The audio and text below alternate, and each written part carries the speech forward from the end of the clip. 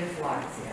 U onom jednom dijelu na prihodnoj strani. To sam danas pojasnio. Prihodi za sad, spominjali ste danas jučerašnji dan. To je e, fiskalizacija, to vam je možda najbolji Ali pokazatelj. prihodi, ne samo fiskalizacija. ne Da. samo. E, Prihode uvijek ajmo gledati na kraju mjeseca, zbog PDV-a.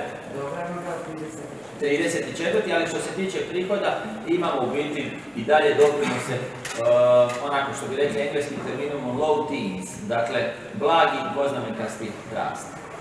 Unatoč svim ovim poteškoćama vidite sami da što se tiče likvidnosti državnog proračuna i naših potreba za financiranje, ispunjavamo ih sve u skladu sa ovoga, našim originalnim očekivanjima. Da su se okolnosti promijenile, jesu, da je cijena ošla gore, je, da su dosta posložila cijela situacija, je, ali u tim i takvim okolnostima mislim da mi sve skupa uspijevamo učiniti onako kako treba i ponovit ću još jedanput, Hrvatska je bila prva članica Europske unije, ne članica eurozone, koja je nakon izbijanja agresije na Ukrajinu izdala međunarodnu obveznicu.